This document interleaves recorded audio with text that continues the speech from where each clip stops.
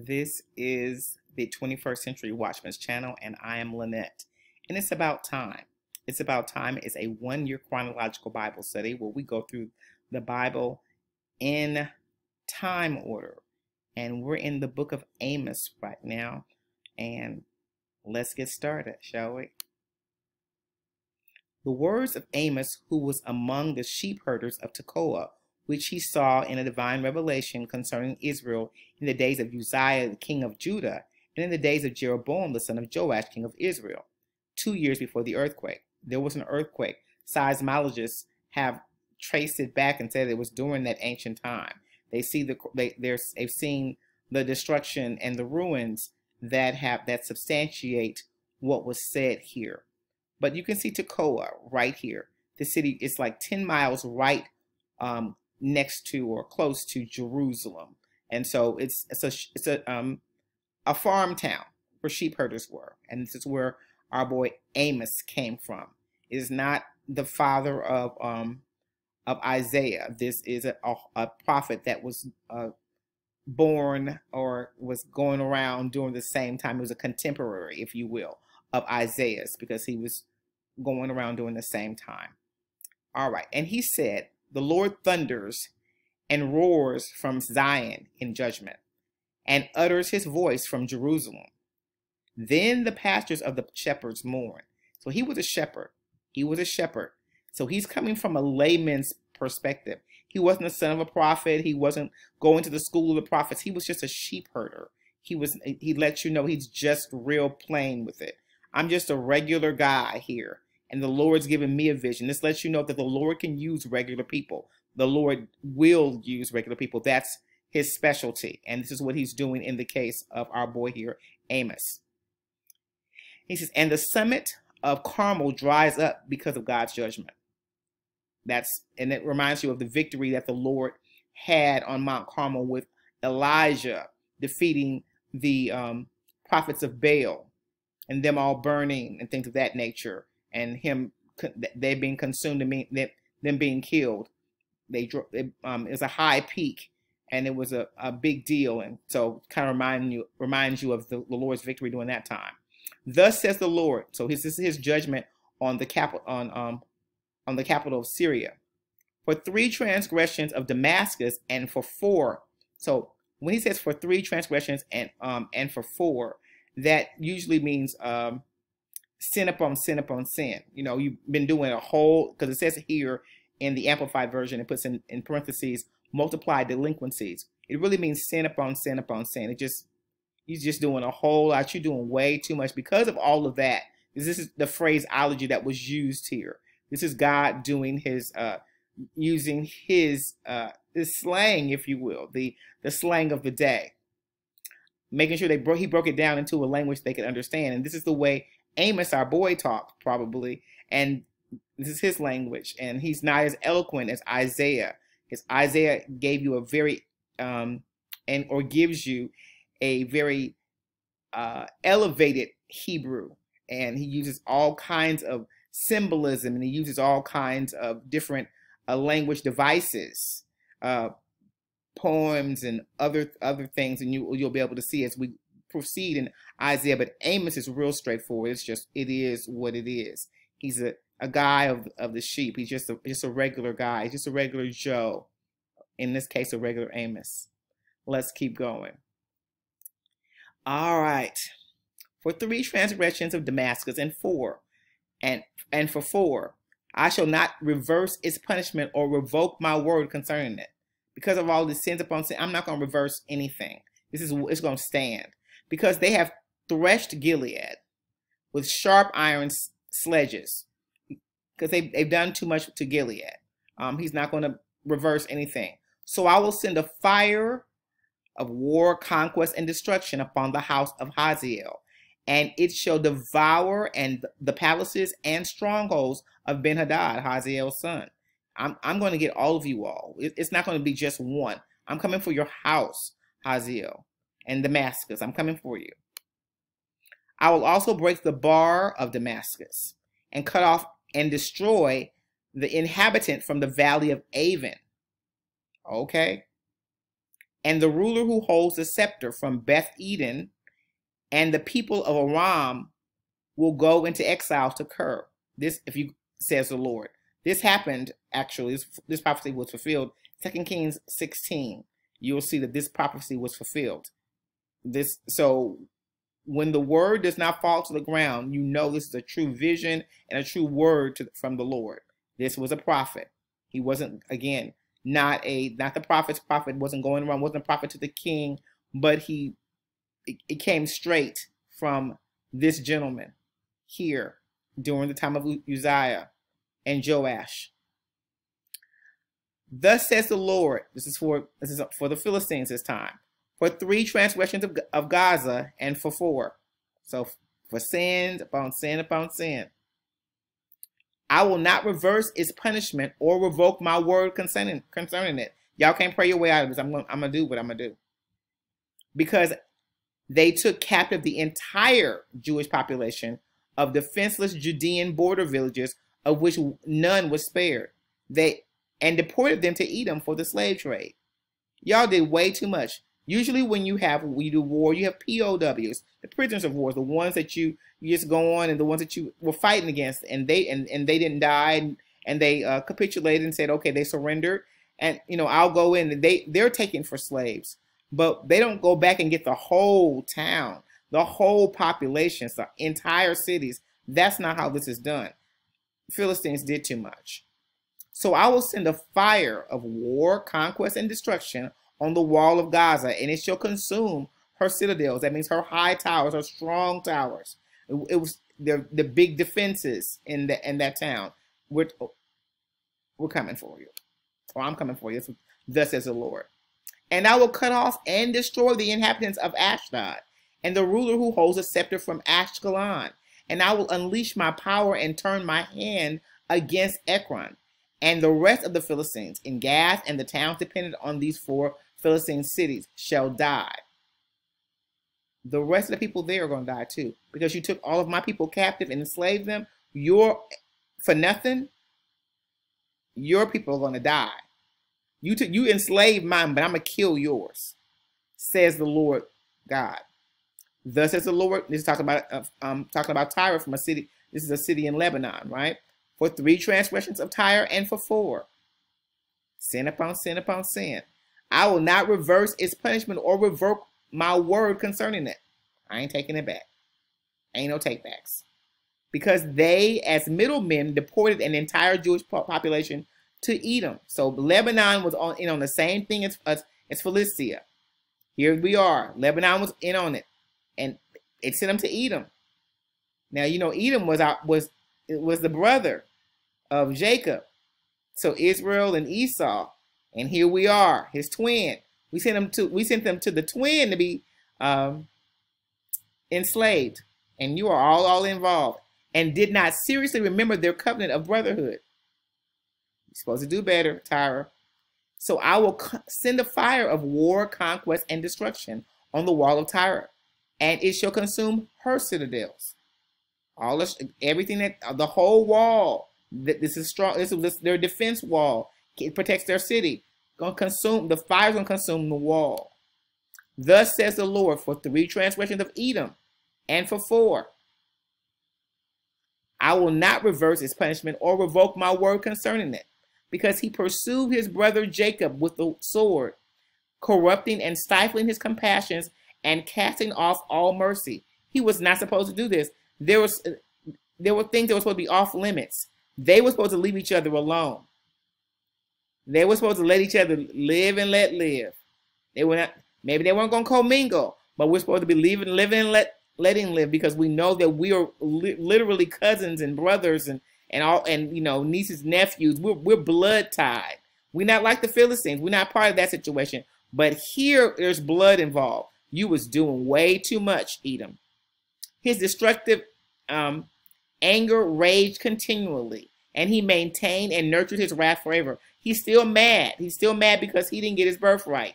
And so you're and you're still holding that, you know, within this all, you know, this bloodline all these years. You have not gotten over it. So I will send the fire of war, conquest, and destruction upon Teman, and it shall consume the citadels of Bozrah.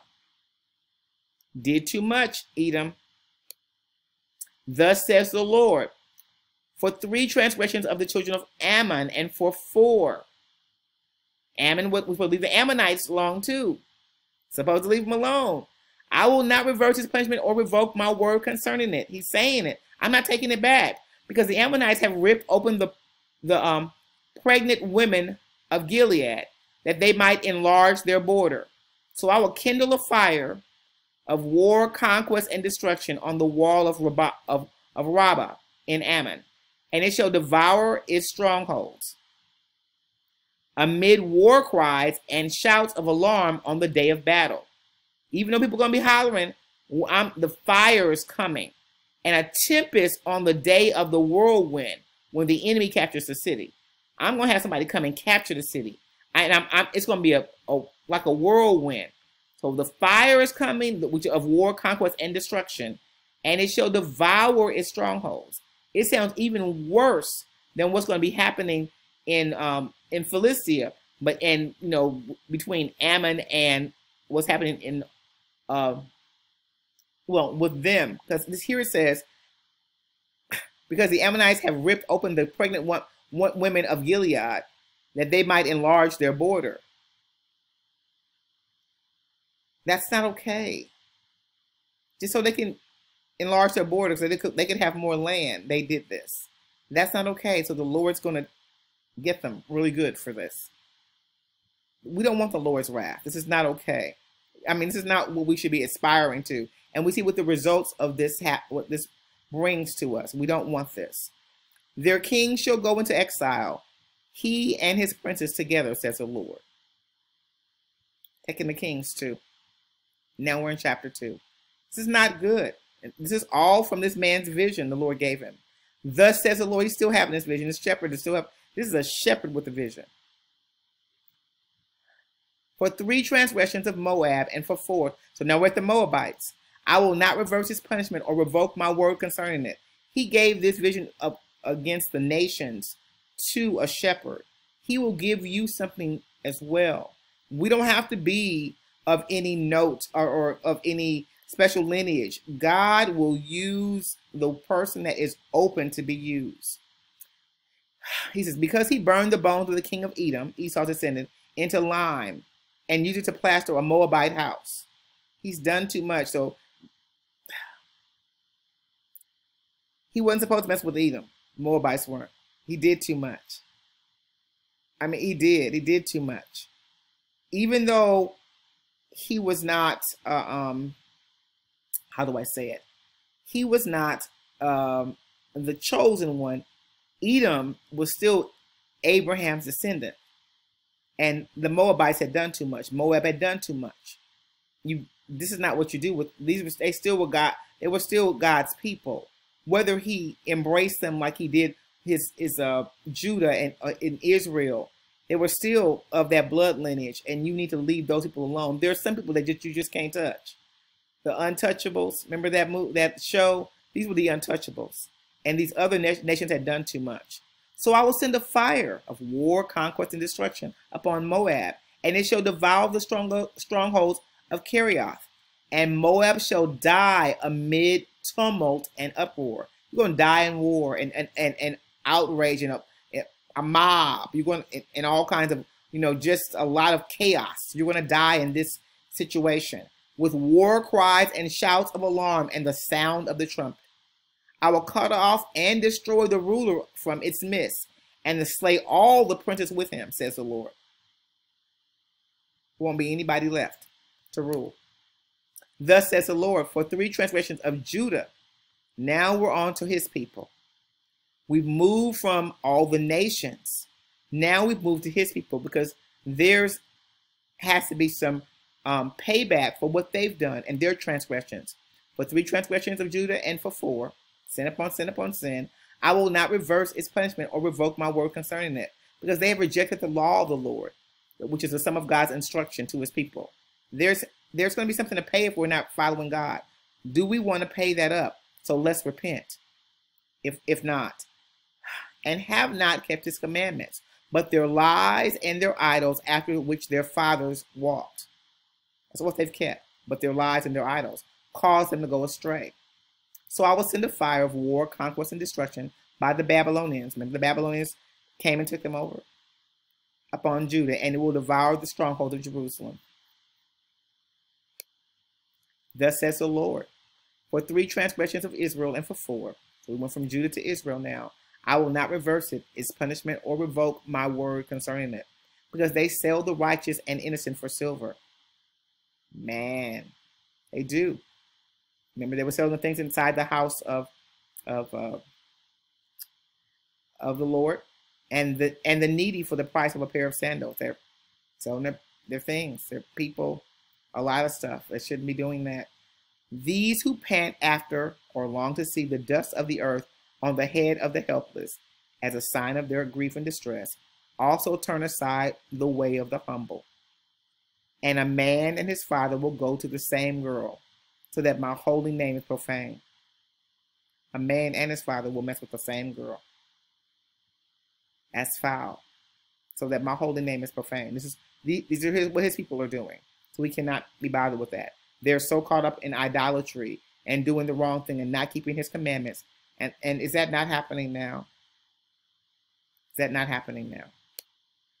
They stretch out beside every pagan altar on clothes taken in pledge to secure a loan, disregarding God's command, because God told us to, to be a to be a lender, not a borrow, borrower. And in the house of their God, they frivolously, frivolously drink the wine taken from those who have been fined. They already in trouble when you, you're taking wine from wine from them. Yet it was not the false gods who destroyed the Amorite before them. It, it, said, yet it was I, not the false gods. I did that in front of them, and you still dogging me out. Though his height was like the height of the cedars, the, the false god, and he was strong as the oaks, I even destroyed his fruits above and his root below. I got rid of the false gods. I don't care how tall you guys built him. I got rid of the false gods. Also, it was I who brought you up out of the land of Egypt. Let me just take y'all back. Because y'all forgot. Y'all forgot who I was. And I led you 40 years through the wilderness that you might possess the land of the Amorite. I did this for you, and this how you gonna play me. Then I raised up some of your sons to be prophets, who gave you my revelation, and some of your young men to be Nazarites, dedicated ones. They, they became priests. Is this not true, O you children of Israel, says the Lord? But you gave the Nazarites wine to drink despite their vows, and commanded the prophets, saying, You shall not prophesy. How are you going to tell the prophets, the prophets not to prophesy? Behold, I am weighted down beneath you as, as a cart that is weighted down when it's full of sheaves. I'm done. Flight will be lost to the swift, so they will be unable to escape, and the strong shall not shall not strengthen nor maintain his power, nor shall the mighty man save his own life. He who handles the bow will not stand his ground. The one who is swift of foot will not escape, nor will he ride the horse save his life. Nor will he who rides a horse save his life. No, from the you know the invading army. Even the bravest among the warriors shall flee naked on that day, says the Lord. And that was chapter 2. Hear this word that the Lord has spoken against you, O children of Israel, against the whole family which I brought up out of the land of Egypt. I have known, chosen, cared for, and loved only you of all the families of the earth. Therefore I shall punish you for all your wickedness. We don't want to be in this number. Do two men walk together unless they have made an appointment? Does a lion roar in the forest when, they, when he has no prey? Does a young lion growl from his den if he has not captured something? Does a bird fall into a trap on the ground when there is no bait in it? Does a trap spring up from the ground when it has caught nothing at all? Of course not. So it, so it is that Israel has earned her impending judgment. If a trumpet is blown in a city, will not the people tremble? If a disaster or misfortune occurs in a city, has not the Lord caused it? I'm letting you know how it's going to happen. I'm trying to let you remind you of how this works. Surely the Lord God does nothing without revealing his secret plan to his servants, the prophets. I've, I'm, I've letting, I've been letting people know. I've been trying to give you revelation. I've been warning you through these people all this time that you've rejected. This is what the Lord is saying here. How many people have warned us? I know we're used to prophecies now that speak to our desires. But God also gives warnings. We should stop doing this. We should stop doing that. We should straighten up and act right. Those are those are warnings. Prophets are not just for our service. They're not um, genies. They are they are to warn us and to give us God's word concerning a matter and the world um, that surrounds us and that we live in. The lion has roared, who will not fear? The Lord God has spoken, who can but prophesy? Proclaim on the fortress in Ashdod and on the citadels in the land of Egypt and say, Assemble yourselves on the mountains of Samaria and see the great confusion within her and the oppressions and abuse of authority in her midst. Abuses of authority. People are doing that all the time, right? And people are oppressed. We see the poor all the time and, and the people that are downtrodden, the the um the lesser of these or the least of these in this world, the people that people look down on the most, they're oppressed. Their lives matter. Whichever group you put in that in that um thing, in that little um, phrase, whatever lives matter. For they do not know how to do right, says the Lord. These who store up violence and devastation in their strongholds. A lot going on here in America. Therefore, and in other parts of the country that I mean of, of the world, where we know that people are being oppressed and they're being beaten and they're being um, uh, uh, cast down for no reason at all. Therefore, just because somebody's corrupt. Therefore, thus says the Lord God, an adversary, adversary, even one surrounded the surrounding the land, shall put down your strength from you, and your and your fortresses will be looted. This has happened. Thus says the Lord, just as a shepherd snatches from the mouth of the lion a couple of legs or a piece of the uh, sheep's ear to prove to the owner that he has not sold the animal, so will the remaining children of Israel living in Samaria be snatched away, with the corner of a bed and part of the damask or the damask um, covering of a couch. Hearing and testify, or hear and testify against the house of Jacob, says the Lord, the Lord God of hosts. This is what we need to know. Um, this is us. I mean, in, our time is so apropos. It's not just something that's for the other group or for them at that time. It, it's it's ringing true today. There are so many nations that have that are, are that are ungodly, and then there there's the ones that's proclaiming the name of the Lord and say we're we're um, in God we trust, and He's going to cast judgment. We've got to listen. On that day, when I punish Israel's transgressions, I shall also punish the altars of Bethel with their golden calves. What's what's our what's your other god? What what, do you, what are we idol worshiping? And you know, TV, radio, music, you know, I don't know, food, uh, money, trying to secure the bag. And the horns of the altar shall be cut off and fall to the ground. And I shall tear down the winter house with the summer house. And the houses of ivory shall also perish. And the great houses shall come to an end, says the Lord. All the riches are going to come down. Hear this word. This is we're on chapter four. You well-fed, pampered cows or women of Bashan who are on the mountains of Samaria, who oppress the poor, who crush the needy, who say to their husbands, Bring the wine now and let us drink. The Lord God has sworn an oath by his holiness that behold the days are coming upon you when they shall take away take shall take you away with meat hooks, and the last of you with fish hooks. It's getting ready to go down. And it, this sounds, it's a lot of imagery here to let you know the gravity of what's happening, going to be happening. We can't keep living this way. And you shall go out through the breaches made in the city wall, every woman straight before her, unable to turn aside. So that's, that's how it's going to be regimented. It just reminds me of, of uh, internment camps where you cannot move. And because you're being enslaved, is our time coming? Or, or is someone going to come over and do some sort of nuclear war and start that and with their um, all their little hovering things, uh, devices trying to find out intel on our country. Is it going to eventually happen to us? Are we going to be given over because of all the um, the sin in this nation and other nations too? Like they're trying to do with the people that are um, Ukraine. I'm just saying it could happen. We we can't discount it. And you shall be cast to Harmon, says the Lord. Come to Bethel, where the golden calf and transgression and transgress in Gilgal, where idols are worshipped, multiply transgression. Bring your sacrifices every morning, your tithes every three days. Offer by burning a, a sacrifice of thanksgiving of that which is leavened. We need to give do the right thing. And boastfully proclaim free will offerings, announce them. For this you you so love to do, O children of Israel, says the Lord. They're, they're doing these things, but they're not doing what he wants. I also gave you cleanness of teeth because of the famine in all your cities and lack of bread in all your places. Yet you have not returned to me in repentance, says the Lord. I've given you everything. I've tried to take some stuff from you, and you still, and, and you know, and I've tried to do the great thing for you, and you still are transgressing against me, and you have not repented.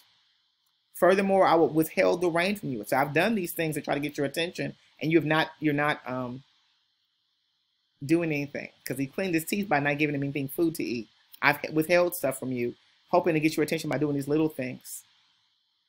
Furthermore, I withheld the rain from you when there were there were still three months until the harvest. Then I would send rain on one city, and on another city I would not send rain. One piece of ground was rained on, while the part not rained on would dry up. So the people, two or three cities would stagger into one city to drink water, but would not be satisfied. Yet you have not returned to me in repentance, says the Lord. You've not returned. What else has he got to do? I wounded, you know, you with a blight from the hot blast, um, blasting east wind.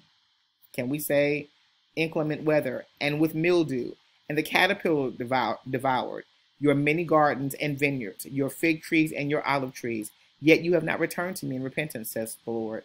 I sent a plague among you like those of Egypt. We've, we've, we've seen some. I won't say the Lord sent them, but we've seen some plagues. We have. I killed your young men with the sword, and I captured your horses. There have been wars. I made the stench of your camp rise up in your nostrils, up into your nostrils. Yet you have not returned to me in repentance of the Lord. He's done all these things. I overthrew and destroyed some among you, as I, your God, overthrew Sodom and Gomorrah. And you were rescued like a, a log pulled out of the flame. Yet you have not returned to me in repentance, says the Lord. Therefore, this is what I sh will shall do to you, O Israel, because I will do this to you. Prepare to meet your God in judgment, O Israel, O America, O Christians. For behold, he who forms the mountains and creates the wind, and declares to man that what are his thoughts, he who makes the dawn into darkness, and treads on the heights of the earth, the Lord God of hosts is his name. Put some respect on this name. Are we ready for this level of judgment? Or do we want to repent and be saved? I invite you to say this prayer with me today. If you're on that side, I want to repent. I want to make sure that I'm right. And although I try to live right, I still need to repent all the time. Father, it is written in your word that if I confess with my mouth that Jesus is Lord and believe in my heart that you have raised him from the dead, I shall be saved. Say this along with me, please. Therefore, Father, I confess that Jesus is my Lord. I make him Lord of my life right now. I believe in my heart that you raised Jesus from the dead. I renounce my past life with Satan and close the door to any of his devices. I thank you for forgiving me of all my sin. Jesus is my Lord, and I am a new creation. Old things have passed away. Now all things become new. In Jesus' name I pray. Amen. If you have said this prayer with me, please put your name in the chat, and we'll be praying for you, and we'll be rejoicing with you because salvation is yours. And you have you are if you it's your first time, you're welcome into the um the family of, of God. And if it's not your first time and you're just, you know, getting life straight again and you're getting on, back on the course, we're celebrating with you. It, and God bless you. And if you've done this and you said the prayer with me and you don't have a church home, put your name in the chat and we will get back to you and we'll make sure that because and let us know what city and state you live in as well. And we'll um, help you find a church home in your area as we have members all over this country. Please let us know. Put your city and state. And we'll be rejoicing with you to make sure that you get to a Bible believing, Bible teaching, loving family of God that will help nurture you and cultivate your gifts so that you can do thus says the Lord. God bless you. Have a great rest of your evening. Know that this is real. And it's about time that you study again with us tomorrow. How about that? God bless you.